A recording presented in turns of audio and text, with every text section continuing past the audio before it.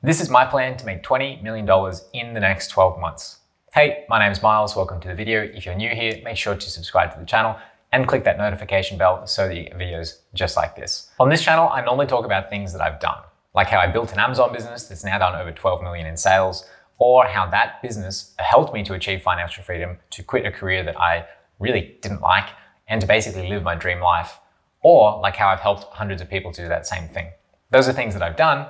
Well, in this video, I want to talk about the things that I'm going to do. So if, like me, you have your own financial goals that you want to achieve over the next 12 months, then make sure to watch to the end of the video. And I hope that in some way I can inspire you. I can maybe make you believe that your own goals are possible, like I believe that mine are possible, and maybe even to push you to think bigger about your goals. If I can do any of those things, then I'll consider my job done. So in this video, I'm going to talk about the three things that I'm going to be doing to make $20 million in the next 12 months. First thing, I'm going to scale my Amazon FBA business to over 12 million a year. And actually, this is quite a realistic goal. So last year we did just under 6 million across our accounts and across our brands. That number is already going up. So now we're at 7 point something million. And basically month on month, it's ticking over as we're just continuing to grow and grow and grow. One of the last videos I posted, I'll put a link here. I went over that process of growing from a much smaller number the previous year, 2 million, up to the 6 million and then where we're going as well in 2021 to get to this 12 million mark. So I do think it's very achievable. So if you want to know more about the specific strategies, the things that I'm doing on Amazon or with my business, with my team, then you can check that video out or subscribe to the channel and just keep updated as I go through the rest of this year. Now, obviously 12 million in revenue, that's not 12 million in my pocket. It's far from it. But what I talked about in my previous video, which I'll leave up here, is about how the marketplace for selling Amazon businesses is really starting to mature in a way that's very good for Amazon sellers. So the maths, which I do talk about in the video, is quite simple. You can take the revenue, then you know, apply profit margin. So let's say it's 20% net profit on this 12 million. That's going to be something over 2 million. I think it's 2.4 million. And then you apply a multiple to that to actually get what the business is worth. Now, if the multiple, let's say, is four, again, these are not exact numbers, but I'm just doing this to prove a point. Um, 2.4 times a multiple of four, that business has just about an eight figure valuation or just under $10 million. That's a really freaking big number. And I know that I'm, I'm just a normal dude like you or a normal dudette like you. And the imposter syndrome that I feel when I say that and talk about these big numbers, I can really feel that inside even right now. So I want to talk about that for a sec because that, that feeling of like thinking about something that you haven't achieved yet, that's a really big audacious goal that feeling of just thinking that you probably you know shouldn't be doing that or you shouldn't be saying it out loud or you're not you know you're not worth doing it or something is going to go wrong and just torpedo that idea and you know how dare you even think about it. That's called imposter syndrome. I've felt that so many times. I still do feel it. And i, I want to mention that because i know that you if you haven't felt it yet you will feel it. And i just want to get it out there and basically say that like don't worry when i say these big numbers i also feel that. And that's a very normal part of this game and growing and changing and becoming you know more successful or growing as a person even so yeah, if you if you feel those like that voice of self doubt, or even you're thinking, Jesus, how can Myles do this and like talk about these huge numbers? Don't worry, no, it's okay. We all have to deal with it, and that really shouldn't stop us from creating these big goals and then from pursuing them and even from telling people about them. To be honest, now I just want to tell you to play the long game. I'm really not here to tell you how to get rich quickly. I think getting rich quickly or the idea of that is a trap for suckers. I want you to play the long game and to get rich slowly. Not too slowly, but not too quickly either. So this journey where I'm on now, where I'm talking about scaling my business from six to 12, hopefully, that's four years in the making. It's more than four years in the making. I'm not going from zero to 10 million in the next 12 months. That can happen, but you really don't need it to, and you probably shouldn't aim for that, just like instantaneous success. Um, understand though that if you're playing the right game and you're playing it well, so you're playing a long game, you're playing something that has that potential, like Amazon, like e-commerce, like a whole bunch of other things. Everything as well so firstly, it's very, very achievable over whatever two, three, four, five year time frame. But all of the, a lot of the value really gets pushed right to the end. And here's a really interesting thing that I just have been looking at now, my own business. So I've done up until today, over this four year period, plus, you know, whatever skills and experience I took into the business before that four years had even started. So it's like a long runway. Up until today, that whole period of time, I've done just over 12 million in sales. And now I'm sitting here telling you that in the next one year, so one quarter of the time, I'm going to double that, or I'm going to do again like four times as much as I have for the life of the business. And actually, looking back at my entire journey, I think this was always true at every point in time. I could always look back and go, okay, I've done this much in sales over the entire life, like everything up until now. And then what would happen is from that point, and then a year from now, or like a really short period of time after that, I would just double and do what I had done in that whole period of time. So it's really just seeing this like exponential growth playing out where the next year is always like equal to everything else that came before you.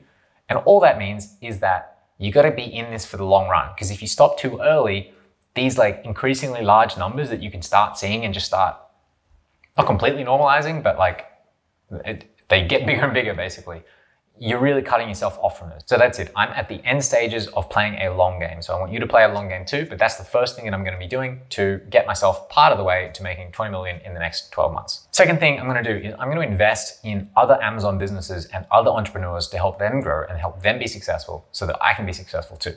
Now, to be fair, I actually wrote this down and then I realized this is not something that's going to pay off in the next 12 months. So it's, uh, it's not something that's really going to help me with the 20 million, but eh, it's a multi-year time frame. But I just told you to play the long game. So I'm going to include this anyway and talk about it since I will be creating value for myself, not only for myself, for other people, but for myself too, within this next 12 months. So even if I don't get paid for that straight away, I'm doing what I'm telling you to do, which is to play the long game and not just think about stuff that'll pay off, you know, in the next six to 12 months. So I first mentioned this idea, this idea of investing in other businesses and of actually mentoring specifically people who have already have businesses, but actually taking a stake in that business. I mentioned that in my last video. It's still something that I'm just thinking about really recently, but the more that I flesh this out, the more it seems like a no-brainer to me. Honestly, to me, a big issue with what I started doing, which is teaching people how to start a successful Amazon business from zero, the big issue with that, uh, unfortunately for me at least, is that most people you teach will never actually finish what they started. Or in other words, they stay at zero. You, you try and take them from zero to somewhere and they stay at zero. And, you know, in a way that's life. Like I've definitely started lots of things, to be honest, where I never got past a zero. I just like tried it. I thought it would be a good idea. Maybe I spent some money. Maybe I got keen. I'm thinking about lots of like boxing probably was the last thing where I tried it. I bought some gear, went to a couple of lessons and the coaches there in the gym knew that I was probably most likely never actually going to follow through with it. So from that regard, I can see what it's like. But the way that I picture this is like if I was a cafe owner and I really loved making delicious like artisanal coffee, I sourced the best beans, you know, I did everything and I spent, I just poured my heart into making these coffees. And then people come into the, co- into the cafe and they buy the coffee from me. And then as I'm pouring my heart out into making the coffee and even the cafe experience, they pay me the money, but then they just walk out and never actually get to drink the coffee. So while that's a good business from the perspective of making money and it can easily be successful, it's not going to feel that great for the cafe owner. So no more about that cafe analogy. Basically, I see this as a really high leverage way to continue to do the things that I'm good at, to continue to do the things that I enjoy doing, to help other people as well, which is really personally satisfying. If you don't know what this feels like yet, you will, you know, when you have kids or or when you are in this like mentor or teaching role, to see somebody actually make personal change and develop and to make their own lives better in some way is a truly gratifying, satisfying activity to do. So I want to do that. The other things that I've been thinking about, maybe some, some lessons that you can learn from why I'm thinking about doing this. Think about everything you do in terms of maximizing your leverage. If you want to make a change, you want to make the most possible change for yourself in the least, uh, the least effort way. The way to do that is to maximize your leverage. Archimedes says, you know, give me a lever big enough and I can move the world. That is true. And it's all about picking the right lever. Some things you can think about now uh, are around your hourly rate. So what is your currently hourly, hourly rate? What are you earning in your job right now? Think about what that number is and think about ways, or actually think about your financial target you want to hit. So if you want to earn, I don't know, 200K a year, work backwards from there. Work out what is that hourly rate if you don't want to work to the bone to earn that 200K. Let's say you want to work 10 hours a week and make $200,000 a year. I think that's a very good goal to go for. Now, if you break that down, you'll work out how many hours, or sorry, how many dollars per hour that is get that aspirational hourly rate, keep it front and center in your mind because working towards that aspirational hourly rate is going to be the thing that increases your leverage, your personal leverage, your ability to do more with your time or to do the same amount with less of your time. And understanding that your time is the real constraint, not anything else. That's a really critical concept. You know, you can do a few things with your time. You can spend your time as an employee, basically working you know, hours in, dollars out at, at a linear relationship. That's the worst possible thing you can probably do with your time. Um, you can, maybe even worse actually, would be converting your time and just thinking about ways to minimize expenses. Even worse than converting it into income because you can, you can grow your income to an infinite level. You can't cut your expenses less than zero. So there's like fixed, uh, there's like a capped amount that you can actually do there. That's a loser's game. The winner's game though is to invest your time into learning the right things. So invest that into knowledge rather than working in a linear relationship. Invest that into learning the right things, which will pay you then compound interest and just increase your leverage over time. So how am I thinking about leverage when I'm thinking about, okay, I want to invest in other businesses? First of all, understanding that where I've come from when I was an engineer, I was making 100K a year. I was literally working in a direct linear relationship between, you know, putting X amount of hours, I get X amount of dollars out at the end of the day. And there was just nothing I could do to change that equation. Terrible, loser's game. Now I've gone way past that, obviously. I'm earning a lot more per hour than I was then. I'm realizing now that, and I have a lot more capital than I did before. You can leverage your time, you can leverage your capital, and you can leverage other things that you have as well, other assets, and you know whether it's people that work for you, or whether it's code, it's software that can run in the background while you sleep, do things for you, or again, it's your money. You have to start being more creative as you get higher up, and you start you want to make more and more amounts or move the world in a bigger way you need to start leveraging all of these things more creatively. So that's why I'm thinking about now, I'm going to use the capital that I have as well as my expertise. So it's my time and my capital, maybe some code as well, I don't know, in the background, to, in combination, to maximize that leverage and to help somebody else grow their business really quickly. So leverage is a really key thing to think about. And again, just, just be really conscious of how you're spending your time. Are you putting that time into learning the skills which are really going to pay off when you can apply them in the right way? So in this example here, I talked about how my business, I've been investing in the skill set to grow a successful Amazon business for more than four years now. So now that's the thing that I want to leverage as hard as I can directly into a way that's going to pay off. So leverage. The other thing that again leads me down this pathway and something that I think you can learn from is to take responsibility and own equity. So what do I mean by that? Firstly, I mean don't be an employee. If you have to be an employee, then look for every possible way you can to take um, Look for ways to take on risk and actual real ownership of the outcome. The only way to be truly rewarded for the upside is to actually take responsibility over that outcome. So in this case, bringing back to what I'm going to be doing, I want to take responsibility for both the upside, which is the equity, and also the downside, which is losing the equity as well. I don't want to just consult and like give advice or, you know, teach on this channel. I can do that, but I want skin in the game because that way my incentives are aligned with the person that I'm working with, with the person that I'm helping to grow ultimately, I'd say for this one, like you want to be paid based on the results that you deliver, not the hours that you work. You want to be paid irrespective of how many hours you work. You want to get paid for the result no matter how quickly or how long it took you, just like get the job done and get paid for the job, um, the result rather. And you also want to be held responsible for the failure to deliver those results. The more of that accountability you can take on yourself, the more you get paid. And that's why I believe at doing this, which is investing myself and investing money and my time into the business, then taking the upside and, and helping to grow the business while also accepting that if those things don't help, and if I fuck up and I help the wrong person, or if I don't help in the way that I'm supposed to, then I'm going to lose, not just them. So that's the second thing I'm going to be doing. Again, it's playing the long game. It's not actually within this 12 months, but I'm going to be investing in businesses and helping to grow these businesses and these other entrepreneurs. As a side note, if you do have an Amazon business and right now you're stuck on capital and you can see the potential, see that pathway to an exit, but you want to maximize really like accelerate your pathway to exiting at a much higher valuation, you may be the person that I want to help. I will leave a link down below for an expression of interest form where you can go and leave your details and, and basically apply.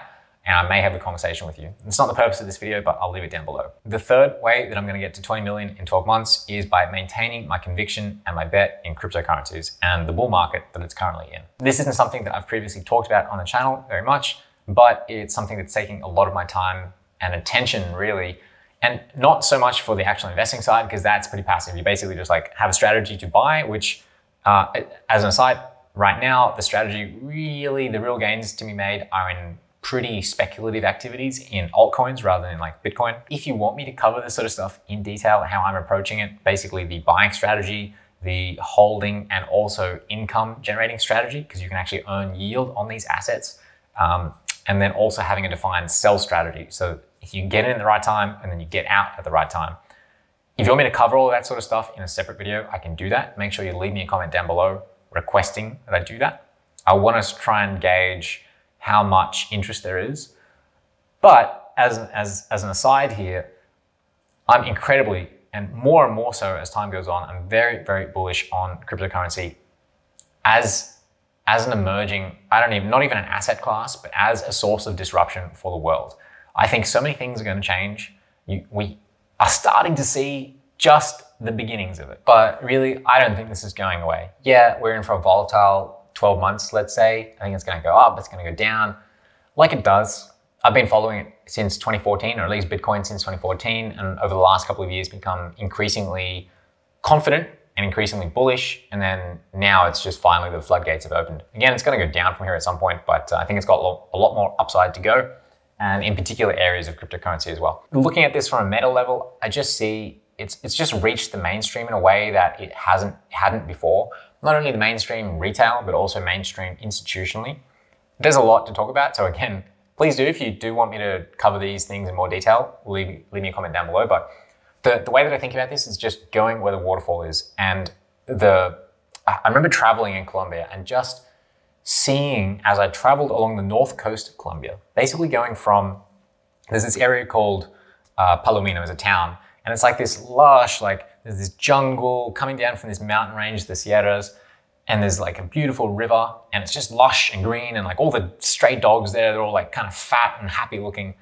It's this beautiful, beautiful region.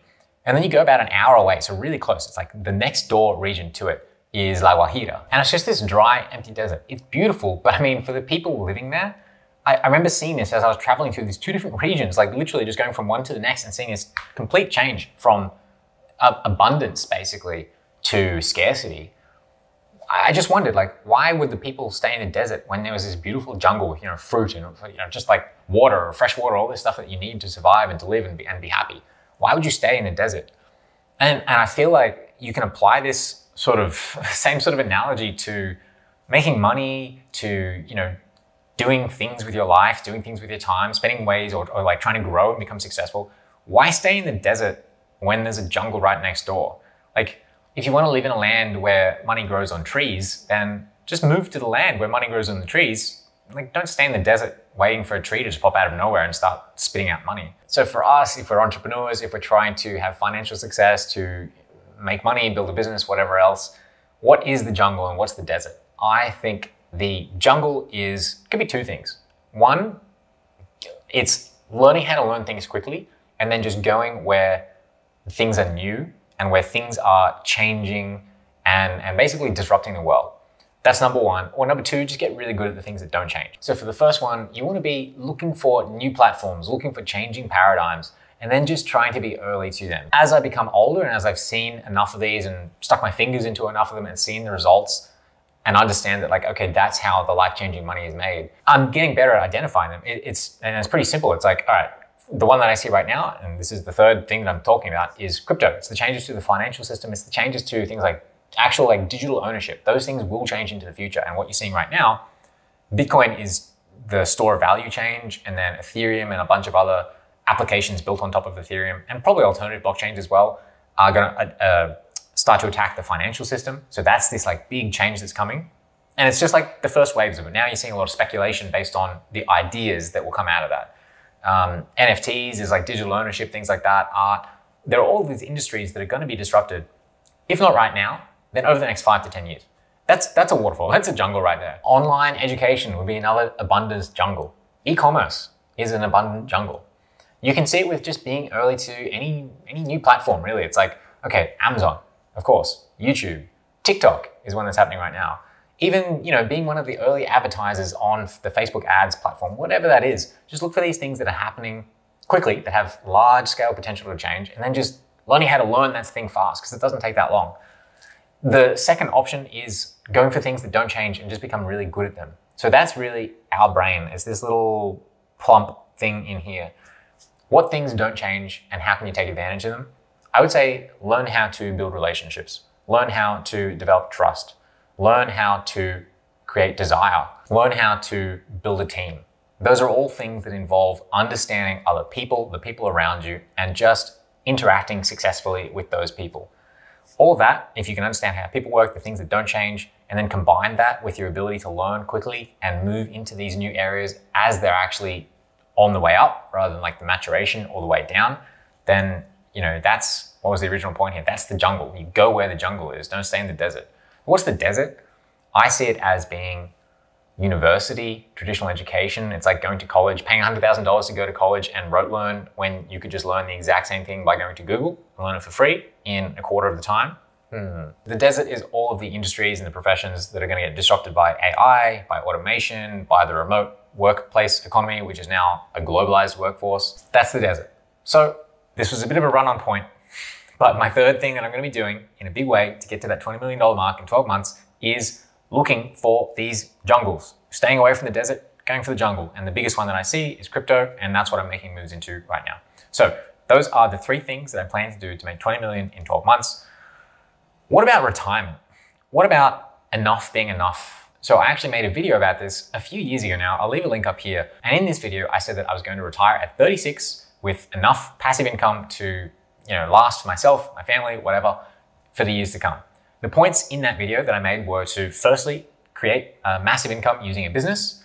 Secondly, to turn that income from the business into passive income, lower risk, lower return, but also more sustainable. And then three, knowing when enough is enough. So that video was made not that long ago, and yet so much has changed since then. And I've shot past the goals that I'd set for myself by the age of 36.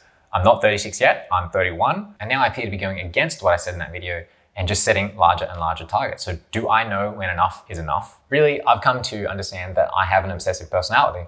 I love learning. I it takes me out of the present. I can get lost and sucked down into things and new challenges that I'm encountering, ideas that I have, things that I want to execute on. I can get lost in that stuff for days. I can come out of reality, not be present, and just go and get lost into this computer. I've been sitting in this apartment for like the last seven days. I've barely left out this door other than to go outside to get food and to go run and just like keep a bit of sanity. But you know what? I think I kind of like it. I like who I am. I like that I really enjoy learning.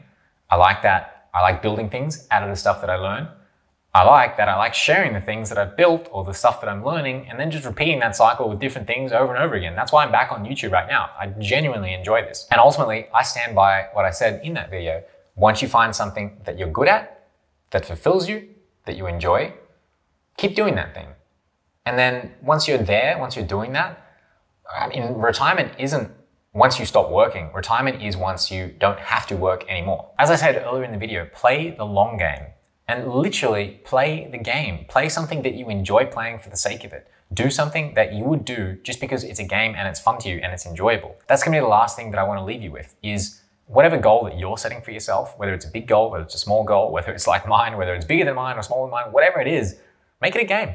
Make sure that you enjoy it. Make sure that it's ideally good for the world. At least make, let it be good for yourself. Set that as a goal and then just set another goal the in the next 12 months. So I look forward to playing the rest of this long game with you. I'm to leave you now with a couple of actions. If you enjoyed this video, do leave it a like. I really appreciate it. Leave a comment. Again, if you want to learn about the crypto stuff or anything else, just leave me a comment down below. Um, do me a favor. If you want to get more insight into just stuff that I'm thinking, it'll be like links about Amazon, uh, things that I'm learning really on like a day-to-day -day basis, go and follow my Twitter account, which I'll leave down below. I just created it. There's like almost no one following me at the moment. Um, but I'm just going to be posting stuff as like a stream of consciousness stuff. You know, I, I think you'll be able to learn something from it. So go follow me there. And as well, if you do fit that profile of the entrepreneur with the Amazon business who has a constraint to growth, but you want to grow your business faster, you want my help, you want me to invest in your business, to put money into it, and then to help you along the way to get you to basically growing it much faster and then to exit for a much higher valuation. Uh, again, go that formal lead down below where you can leave your details and actually make an application for us to have a conversation about that. That's it. Hope you enjoyed the video. See you in the next one.